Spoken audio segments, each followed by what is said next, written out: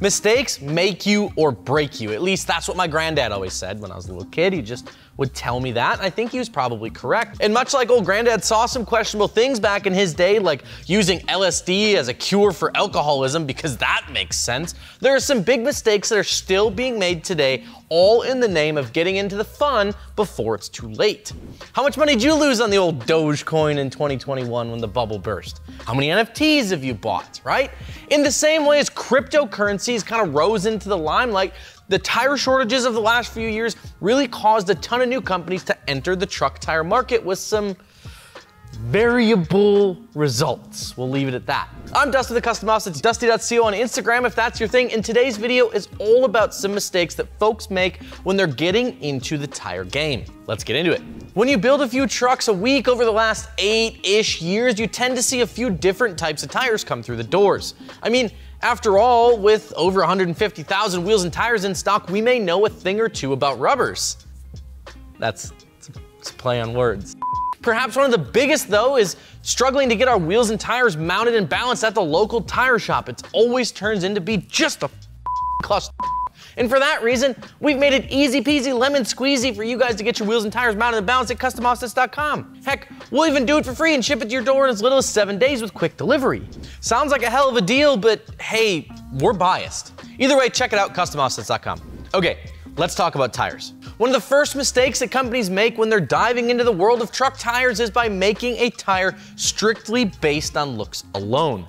Now, sure, we all want a really good looking tire that we can flex on the gram with. That's just part of having a truck. But contrary to what some people may think, there's actually some science involved when it comes to designing a good tire. Here's how it works. The tread pattern of a tire is designed to do well, a few different things, but most importantly is to keep as much of the tread on the road and dry at all times so that way you can keep control of your truck when you're mobbing down the highway with your buddies, right? You nobody wants to like spin out and go in the ditch. Next up, we're gonna have the actual tread blocks, which are really just chunks of rubber that hang out between the tread voids, and their job is to stick to the ground and to maintain traction, which ultimately pushes the truck forward, right? Because the tires roll, because the engine rotates and rotates the tires. That's the way it works. It's also not uncommon to find smaller siping inside of these tread blocks, you know, like the Nitto Mud Grappler, for example, which has these small little squiggly doodad looking line things in the big old tread blocks that, you know, it like helps grab snow. It's actually really cool. We did a video on this, but these sipes are really designed to move water, snow, and other material away from the center of the tread block, again, so that tire is gonna maintain that traction that we talked about earlier there, right? The problem arises here when companies design their tires with looks in mind first, or maybe looks in mind solely. This usually is especially true in some of the more budget-minded tires as they tend to appeal to a little bit of a larger audience, right? While it may get you a great looking tire, oftentimes these tires simply just don't perform as they should because the design isn't actually made to funnel any water away from the tread blocks, which really leads to terrible traction and rain and also you end up with like lower load ratings and in some cases you can have tire failures and that's not cool. Along those same lines, another big mistake we see a lot of new tire companies make when they get into the truck tire game here is designing a tire without actually testing the road noise that the tire makes. I love road noise as much as the next guy, but there are just some tires out there that are goddamn loud. Tire noise, if you didn't know, is caused by the air actually passing through those tread channels as the tire spins around going down the road. This resistance, this bouncing of the air is gonna cause vibrations in the tread channels, which is what leads that mud tire to hum or groan or whine as they go down the road. The number one example, the worst, loudest tire that I can think of off of the top of my head is the Nitto Mud Grappler. It's a fantastic tire in the mud. It looks beefy as hell, but coasting to a stop sign from 40 miles an hour literally sounds like you're shutting off a wood planer in a shop. Like, it's bad. We see a lot of companies coming out with tires that look great until we get them on trucks and then notice that, you know, you can't have a conversation with your passenger at 30 miles an hour because all you hear is tire hum.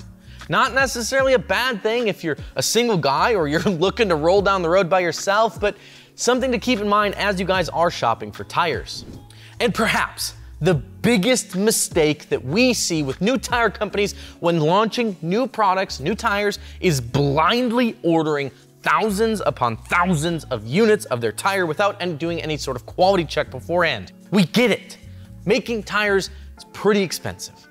You've got research time, you've got mold cost, you've got revisions, you've got a source of factory, and then it takes time to actually produce them in the first place, right? And after that, there's still the time it takes to get them into a container ship and then load them onto a ship and ship them across the big pond and then get them into the United States and then get them through the port and then get them on a truck and then get them into the warehouse before you can even buy them. Because of this delay, a lot of new companies will think they're doing the right thing. They'll order a ton of inventory coming out swinging, sometimes with hundreds of thousands of tires at a time. Sometimes this works, and sometimes it, it doesn't. It doesn't always happen. However, there have been some instances where a new tire has come to market and immediately been pulled from the shelf because there's maybe some quality control issues that pop up, you know, with the first like 300 tires.